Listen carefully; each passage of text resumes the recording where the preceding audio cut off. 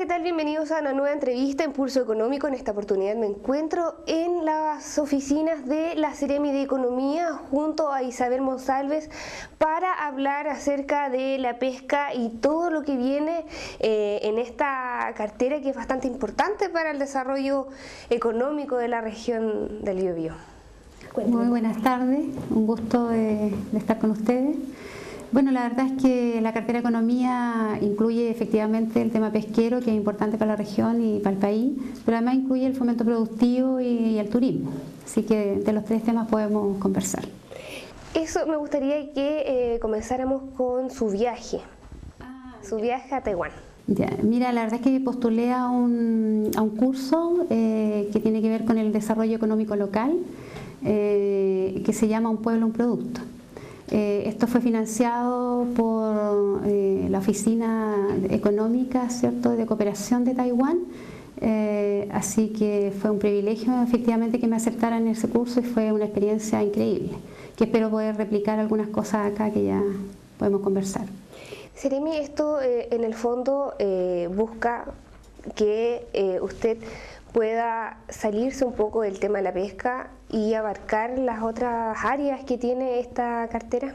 Eh, pues, efectivamente, porque la verdad es que nosotros podemos hacer como un pequeño análisis de unos 20 años atrás, donde podemos ver que hay un estancamiento en todo lo que es el tema industrial, forestal, o sea, efectivamente eso es importante para la región, el tema celulosa.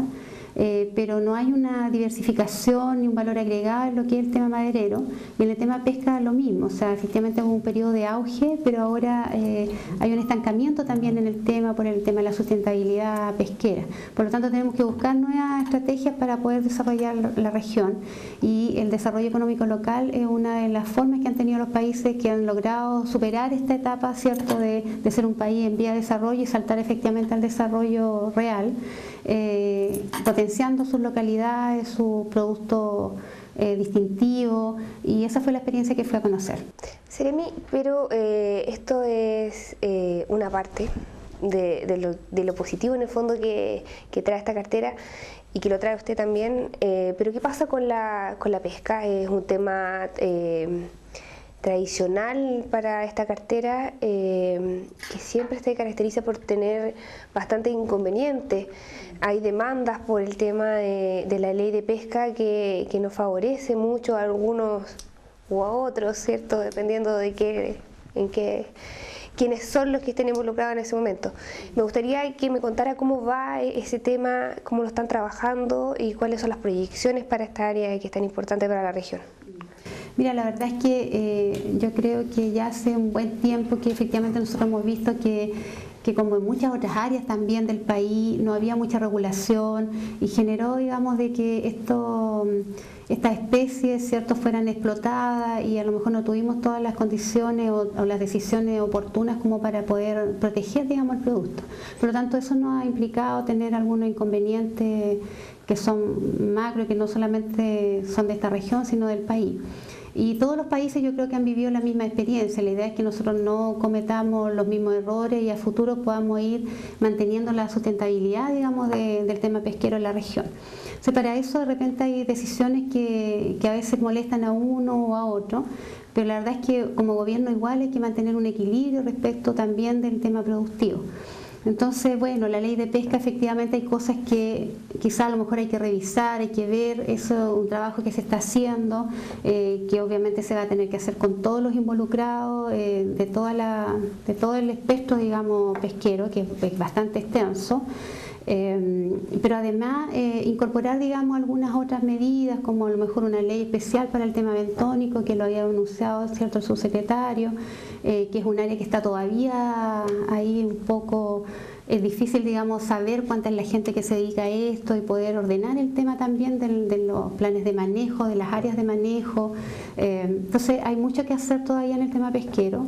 Eh, yo creo que está la voluntad política de, poder ir resolviendo cada uno de los temas, pero eso obviamente implica que, que si alguien está descontento en alguna cosa, también este es un país libre y por lo tanto también tienen derecho, dependiendo digamos del orden que tenemos que respetarnos, eh, poder manifestar digamos sus aprensiones.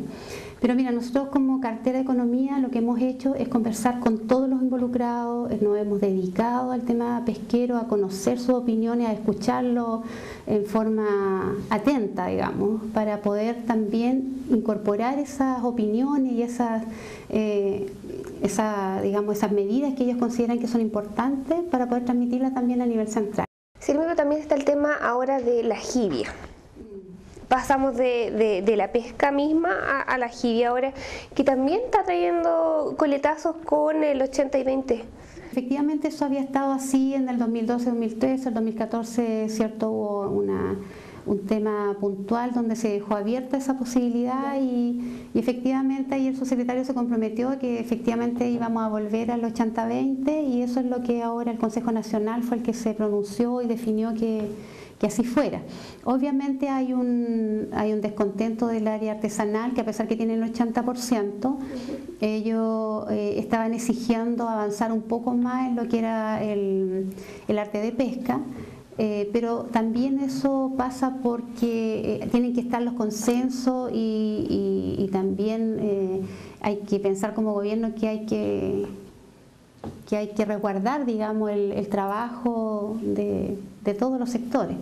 Por lo tanto, yo creo que todavía falta más, eh, conocer más de esta especie, saber cómo se comporta y después también quizá ir avanzando en otras decisiones que sean importantes, digamos, para la economía y que también permitan ser equitativos en el tema de la distribución de, la especie.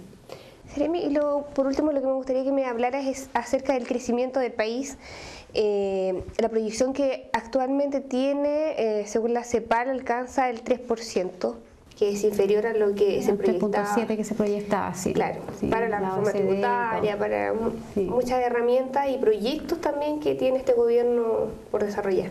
Sí, bueno, efectivamente las proyecciones que hacen las instituciones internacionales son un poco más bajas de lo que nosotros como país habíamos definido y lo más probable es que eso efectivamente va a afectar el tema del ingreso, pero la verdad es que Chile tiene una economía sana en el tema de la deuda, en el tema del equilibrio fiscal y por lo tanto yo creo que eso no va a ser un impacto mayor. Ahora, eso efectivamente tiene un impacto cuando un gobierno eh, eh, es nuevo y además este gobierno que ha incorporado reformas estructurales, genera quizá algún tipo de, desconfianza al inicio. Nosotros tenemos la, mm, eh, no sé, la, certeza de que efectivamente eso va a cambiar, estamos recién en los primeros meses de gobierno y por lo tanto creemos que efectivamente para el otro año vamos a tener cifras positivas, así que yo creo que vamos a poder avanzar y la región igual esperamos también tener mejores indicadores a futuro. Muchas gracias, Seremi, por esta entrevista. Y a ustedes los dejo invitados para que eh, pasemos a revisar los indicadores económicos aquí en TVU.